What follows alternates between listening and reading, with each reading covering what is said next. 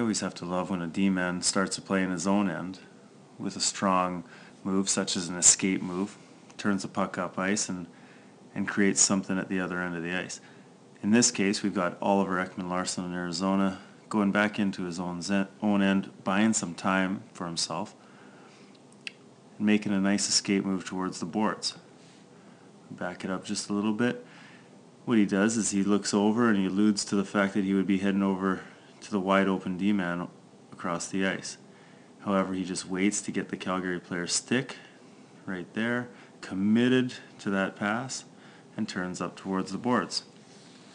Now that in itself is a good play, but what I really like is a very subtle move coming up the, the boards here. Most players would want to stay away from this Calgary player and come right up the boards.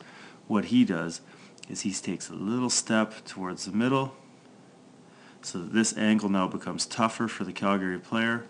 He's got to check him more from behind now instead of coming from the side.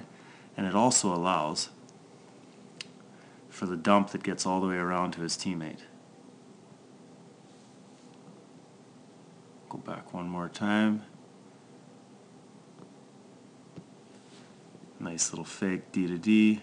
Step towards the middle. Allows for a dump. So it beats the goalie right to his own teammate.